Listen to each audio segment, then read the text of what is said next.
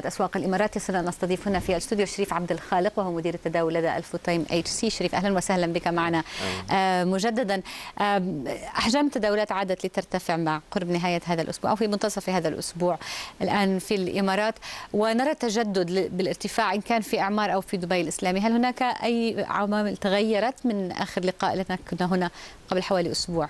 أه والله لا هو مفيش تغيير كبير. أه أنا لسه شايف برضو في في شراء قوي من المؤسسات الأجنبية والمؤسسات الداخليه هو يعني اللي إحنا بس ملاحظينه في فترة يمكن ال 10 أيام تداول اللي فاتوا إن السوق بيتحرك في في سوق بصورة عرضية وده إلى حد ما طبيعي شوية في في في في, في, في الوقت ده من السنة لأن معظم المستثمرين بالأخص كبار الأفراد في السوق والمؤسسات الداخلية بيبقوا بيبقوا في انتظار إعلان توزيعات الأسهم.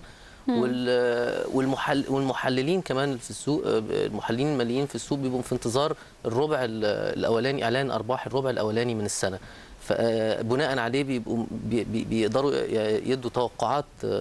نمو الشركات في في خلال السنة هتبقى ماشيه إزاي. بناء عليه يدوا توقعات في شراء أو بيع على الأسهم. ف يعني ده السبب الرئيسي اللي مخلي إلى حد ما السوق ماشي في طريق عرضي. لكن الفوليوم الكبير أو حجم التداول اللي إحنا شايفينه اللي بيزيد ده مؤشر كويس اللي بيدي اللي فيه فعلا يعني نوع من اكتساب للأسهم على على على مستوى الأسعار دي سواء في سوق أبو ظبي أو سوق دبي الحقيقة. يعني عادت هذه الأسهم على مستويات سعرية عادت لتبدو جذابة لشريحة أوسع أو لشريحة مختلفة مرة؟ جذابة أكتر. أنا أقدر أقول لك للمستثمر اللي هو متوسط طويل الأجل. الصورة العرضية اللي إحنا بنشوفها لأنه إلى حد ما نقدر نقول في تواجد للمضاربين اليوميين أو المضارب اللي هو بيتضارب على على مستوى القصير الأجل. اللي هو يقدر يفتح محفظة في في خلال اليوم ممكن لو شاف 1 أو 2% يفضل اللي هو يجني يجني أرباح في ده, ده اللي هو المضارب بصفة عامة. فعشان كده شايفين الحركة العرضية دي بتيجي أو زي ما كنت بتقولي في على سوق دبي أو سوق ابو ظبي بتشوفي السوق طالع في خلال الجلسة وبيجي في نهاية الجلسة أو النص الثاني من الجلسة بيحصل نزول طفيف أو لكن أو بنفس الوقت نجد عودة للارتفاع على أسهم أساسية في السوق أسهم استثمارية إن كانت إعمار إن كانت دبي الإسلامي إن كانت الاتحاد العقارية. هذه أسهم عاد عادة يحملها مساهمون لهم نظرة مستقبلية بالضبط. بهذه الأسهم. وليس يعني فإذا مش مش بس المضاربين لهم دور لا لا لا لا طبعا. أنا بقول لك هي تواجد المضاربين في الفترة دي. يعني هي ناحية المستثمر المتوسط أو طويل الأجل سواء الأفراد المستثمر الكبير من الأفراد أو من المؤسسات الداخلية أو الخارجية تداولها يمكن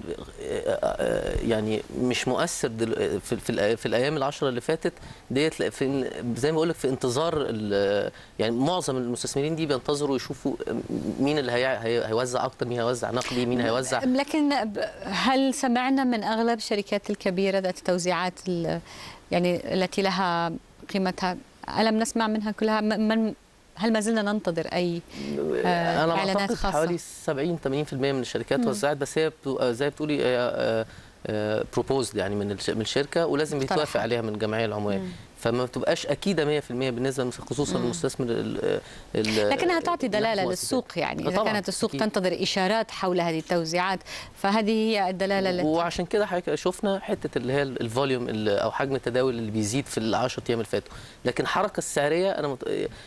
فيها إلى حد ما برضو إلى أي درجة ممكن أن نرجع هذا الارتفاع الذي تشهده السوق في هذه الفترة الأخيرة إلى عمليات شراء للحصول على توزيعات؟ ترقبا لهذه الإعلانات والحصول على هذه التوزيعات ومن من ثم يمكن إعادة تصفية تلك المراكز.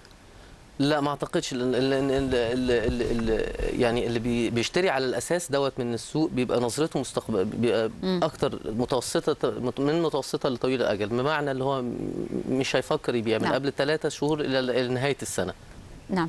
شريف عبد الخالق شكرا جزيلا لك. شكرا إذا ناخذ فاصل مشاهدينا مرة